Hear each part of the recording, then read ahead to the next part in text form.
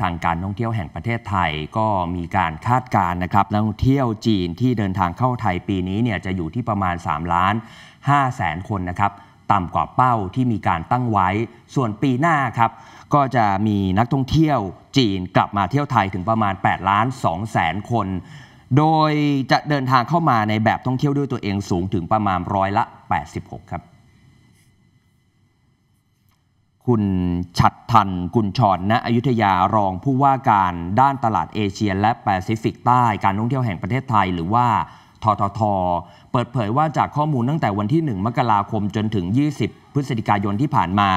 พบว่ามีนักท่องเที่ยวจีนเดินทางเข้าไทยแล้วกว่า 2 ล้าน9แสน7หมื่นคนครับ โดยเป็นประเทศที่เดินทางเข้าไทยมากเป็นอันดับ 2 รองจากชาวมาเลเซียเท่านั้น และคาดว่าตลอดทั้งปีนี้จะมีจำนวนนักท่องเที่ยวจากจีนเข้าไทยประมาณ3ล้าน4แสนจนถึง3ล้าน5แสนคน ค่าใช้จ่ายเฉลี่ยต่อคนต่อทริปอยู่ที่ประมาณ 56,000 บาท สร้างรายได้เข้าประเทศประมาณ 196,000 ล้านบาทลดลงจากเป้าหมายที่ตั้งไว้ ในตอนแรกที่ประมาณ 4 ล้านถึง 4 ล้าน4แสนคน รายได้รวมกว่า 226,000 ล้านบาท ส่วนปีหน้าทททมีการคาดว่าจะมีจำนวนนักท่องเที่ยวจีน กลับเข้ามาเที่ยวไทยถึง 8 ล้าน2แสนคน สร้างรายได้ราว 451,800 ล้านบาทครับ โดยจากข้อมูลปัจจุบันพบว่านักท่องเที่ยวจีนที่เข้ามาเที่ยวไทยในช่วงของครึ่งปีแรกของปี 2566 มีการเปลี่ยนแปลงโครงสร้าง โดยจะเดินทางเข้ามาแบบท่องเที่ยวด้วยตัวเองหรือว่า FIT สูงถึงประมาณร้อยละ 86 นะครับ ขณะที่การเดินทางเข้ามาเที่ยวแบบกรุ๊ปทัวร์ลดลงไปเหลือเพียงร้อยละ 14 เมื่อไปเปรียบเทียบกับปี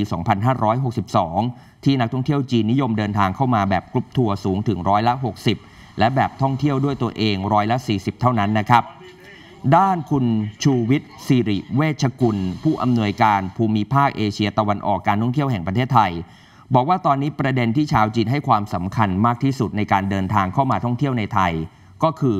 ภาพลักษณ์และความปลอดภัย ขณะนี้กระแสข่าวถูกพูดถึงในสื่อออนไลน์ของจีนบ้าง แต่ไม่ได้มากนักครับ ส่วนผลกระทบก็เกิดขึ้นในบางบนทนของจีนเท่านั้น